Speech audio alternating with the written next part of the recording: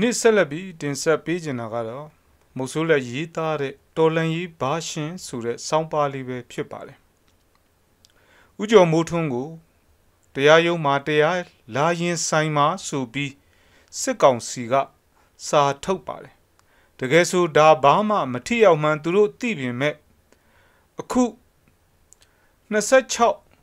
29 UN စည်းဝေးမှာအစိုးရအတိမတ်ပြုရေးအတွက် NUG ကို စစ်ကောင်စီကတိုက်ခိုက်လိုက်တာပဲဖြစ်ပါတယ်ဒီအတိမတ်ပြုဖို့ကလည်းအမေရိကန်နဲ့တရုတ်သဘောတိုင်းဖြစ်လာမှာပါကျင်ဖစ်နဲ့ဗိုက်တန်လည်းအခုရက်ပိုင်းဆွေးနွေးမယ်လို့အတန်တွေထွက်လာပါတယ်ထုံးစံအတိုင်းရခင်အခောက်ကဆွေးနွေးတယ်လို့အဖြေထွက်လာမှာပါအခုရက်ပိုင်းစစ်ကောင်စီစီနိုင်ငံသုံးနိုင်ငံကတန်တမန်တွေလာပါတယ်ထိုင်းဒူဝန်ကြီးချုပ်ဂျပန်နီပွန်ဖောင်ဒေးရှင်းဥက္ကဋ္ဌ သူကတော့တိတ်အရေးမပါပါဘူးတရုတ်ကစွန်ကော့ရှန်တို့ပါပဲထိုင်းကလာတာတော့သူ့နိုင်ငံနဲ့ဝင်လာမဲ့ဒုက္ခသည်တွေနဲ့လဲဆိုင်တယ်လို့ US UK တို့ထိုင်းကိုလာပြီးဖိအားပေးလို့စစ်ကောင်စီကိုထိုင်းဒုဝန်ကြီးချုပ်ကိုတိုင်လာတတိပေးတာဖြစ်ဖို့များပါတယ်စွန်ကော့ရှန်လာရင် ထုံးစံအတိုင်းအပြောင်းလဲနဲ့ပြဿနာတစ်ခုအမြဲရှိတတ်ပါတယ်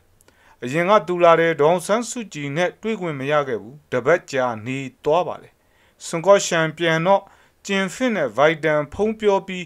UN မှာဥကြုံမှုထွန်းနေရဆက်ရပါတယ်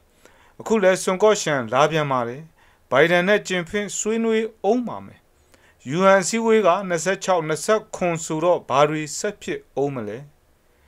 မြမရေးအားပူပူပြီးအရှိန်တက်လာပါတယ်အမေရိကန်ကမြန်မာမှာတရုတ်လူကြရေရှည်စစ်ပွဲတွေမဖြစ်စေချင်ပါဘူးတရုတ်ကမြန်မာကိုမီးမွေးထားပြီး သူကထိုင်ဝမ်ဘက်လက်မလာအောင်ကာကျင်နေတာပါ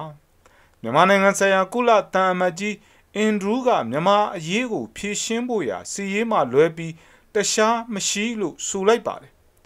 အမေရိကန်လည်းစဉ်းစားရကြက်နေပါတယ်သူကအာဆီယံကိုပတ်ချုပ်စစ်ကောင်စီလှုပ်မရအောင်လုပ်ပြီးအပြောင်းလဲလှုပ်ချင်နေပုံရပါတယ်စစ်မတိုက်ချင်ပါဘူးဒါလည်းဒီမိုကရက်တီရဲ့မူဝါဒပါပဲဒါပေမဲ့စစ်ကောင်စီကလည်းနိုင်ငံ တနိုင်ငံလုံးဘလောက်ဒုက္ခရောက်ရောက်သူတို့စီကြည်စံမလာတရွေ့မစင်းပေးဘူးသူတို့တောက်တိုင်းပြုတ်ပေးထားတဲ့တရုတ်ရှိနေသူရဲ့သူကရသမျှကြားကန်နေမှာပါပဲနဝတလက်ထက်မှာအမေရိကန်ကဆက်ရှင်3ခါချပါတယ်နဝတအပြုံးမပြတ်ပါဘူးတရုတ်ရှိနေတယ်လေအမေရိကန်အဲ့လိုဆက်ရှင်ချလေတရုတ်နဲ့ပိုနီးကပ်ပြီးတရုတ်အကျိုးရှိလေပါပဲ ပြည်သူကတော့ဒုက္ခပိုရောက်လေပါပဲဒါကိုအမေရိကန်တွေလည်းသိပါတယ်အချိန်ကြာမရတာလည်းသိပါတယ်စစ်ကောင်စီကတော့အခုရဲ့ပိုင်းစီရေးပြင်ဆင်မှုတွေထက်လုပ်လာသလိုနိုင်ငံရေးပိုင်းမှာလည်းသူတို့ပဲထာဝရဥချုပ်လို့ရအောင်2008ခြေဦးကိုဘာရှင်ထက်မြင့်ဖို့ PR စနစ်ဆိုပြီးလှုပ်လာပါတယ်လွတ်တော်လဲမရှိပဲဘလို့ပြင်မလဲပြည်သူကိုတော့တနက်ထောက်မဲထက်ခိုင်းအောင်မှာပါသူတို့ဘလို့စူးစမ်းစူးစမ်းရမယ်မထင်ပါဘူး 2008ခြေဦးကိုဖះဟောအဘိဓမ္မာလိုထင်နေတာလဲအတော့ကိုညံနေတယ်လို့ပြောရပါမယ်အမေရိကန်အခုရပိုင်း NUG ကိုအစိုးရအဖြစ်အတိမတ်ပြုမှကိုရတော့ပါမယ်ခုပုံစံတိုင်းဆက်သွားလို့မရတော့ပါဘူးထိုင်ဝမ်အောင်ဆိုးရလို့တရုတ်နဲ့မိတ်ပြတ်မှာဆိုလို့အတိမတ်မပြုတ်ထားပင်မဲ့မြန်မာမှာတော့ NUG ကို ပြုတ်မှရတော့မယ်ဘာလို့လဲဆိုရင် UN မှာလည်းအမေရိကန်အတိမတ်ပြုတ်မှုက အရေးပါတယ်လို့ပြည်တွင်းမှာလည်းတိုက်ပွဲတွေကပိုပြီးပြင်းထန်လာပါတယ်ရရလက်နက်နဲ့တိုက်နေရတဲ့နေရာမှာ NUG သာတရားဝင်အစိုးရအတိမတ်ပြုခွင့်ရလာရင်လိုအပ်တာကိုတရားဝင်ပံ့ပိုးလို့ရလာတော့မှာဖြစ်ပါတယ်လက်ရှိအနေထားရချင်းစကိုင်းမကွေးမြောက်ပိုင်းတွေမှာစစ်ကောင်စီအာဏာဇက်မရှိတော့ပါဘူးဒါကြောင့် NUG ကိုပထဝီမပိုင်တဲ့အစိုးရလို့ပြောလို့မရပါဘူး တနိုင်ငံလုံးနေရာအနှံ့ကတော်လန်ရေးလုပ်နေလို့စစ်ကောင်စီတပ်တွေလည်းတက်ဖြန့်ထားရပြီးတော့ရုတ်တရက်မြို့သိမ်းတိုက်ပွဲတွေဆိုအင်ပြည့်အားပြည့်နဲ့မခုခံနိုင်တော့ပါဘူးစစ်သား9သိန်းရှိတယ်ဆိုပြီးတာမရှိတဲ့စရင်ပြလာစာထုတ်စားနေတာတကယ်တကယ်မှာတော့တသိန်းဝန်းကျင်တောင်မရှိပါဘူးမြို့ကန် PDF တွေကအခုဆိုအရင်လို တူမီတွေမဟုတ်တယ်လို့အော်တိုတွေ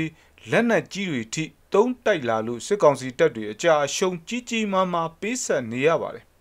မြို့ပြတွေမှာလည်းထိရောက်တဲ့မစ်ရှင်တွေကြောင့်ပြစ်မှတ်တိုင်းထိရောက်နေပါတယ်လေဗယ်အချိန်မြင့်လာတာမို့မကြခင်စစ်ကောင်စီရဲနေရရက်သွားပါတော့မယ် UNC ဝေးဆုံးဖြတ်ချက်ပေါ်မူတည်ပြီးတော့26 29နောက်ပိုင်းတွေမှာပွဲကြီးတွေကြီးပဲဖြစ်လာတော့မယ်လို့ထင်ပါတယ်တိုးတွေက PDF တွေလည်းမြို့ပေါ်တွေရောက်လာကြတယ်လို့တချို့အဖွဲ့တွေလည်း EAO တွေနဲ့ ပေါင်းတိုက်လာတာတွေ့ရပါတယ်16ရက်နေ့မနက်ဖြန် NUCC သတင်းစာရှင်းလင်းပွဲမှာဘာတွေပြောလာမလဲနားထောင်ရပါမယ်အဲ့ဒီပွဲကတော်လန်ရေးအရှိန်အတက်ကြဖြစ်စေမယ်ထင်ပါတယ်စစ်ကောင်စီကတော့သူ့ဘာသာအော်အော်အမေရိကန်ကတော့ငဲကြောက်ပါပဲတန်တမန်မဟုတ်တဲ့အလွတ်သဘောလာတဲ့အမေရိကန်တန်တမန်ဟောင်းရစ်ချက်ဆန်ကိုတခန်းတနာဆွေးနွေးပြီးသူတို့ဖမ်းထားတဲ့အမေရိကန်သတင်းတောက်ကိုဒီနေ့လွတ်ပေးလိုက်ပါတယ် မိတို့ပင်ဆိုစီအောင်တော့စစ်ကောင်စီရဲ့ PR အိမ်မလဲဖြစ်လာเสียမရှိသလိုသူ့အုပ်ချုပ်ရေးရန်နေရနဲ့ချင်းစကိုင်းအပြင်ကြံဒေသတွေမှာပါမကြခင်ပြတ်ပါတော့မယ်သူဆက်မျက်နှာဖွင့်ထားရတာတနိုင်ငံလုံးမှာပဲတပြိုင်နက်တည်းထိုးစစ်ဆင်တဲ့အခါသူတို့ဘလို့မှမထိန်နိုင်ပါဘူးပြည်ပကအကူအညီမရလဲပြဿနာမရှိပါဘူးလက်ရှိပြည်တွင်းက EAO တွေနဲ့ PDF အားတွေနဲ့ ဆီယနာရှင်ကို အမြင့်ဖြတ်ဖို့အစဉ်သင့်ဖြစ်နေပြီလို့ပြောကြပါတယ်အရေးတော်ပုံမုတ်ချအောင်ရမယ်ရုံမှာရက်ဆက်အကျန်းဖတ်စေုပ်စုမုတ်ချကြဆုံးရမယ်